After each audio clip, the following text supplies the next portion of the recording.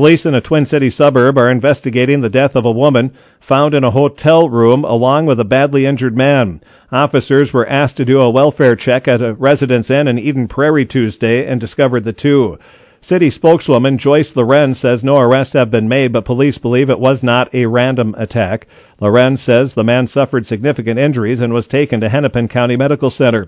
His condition was not released. The cause and matter of the woman's death will be released by the Hennepin County Medical Examiner's Office.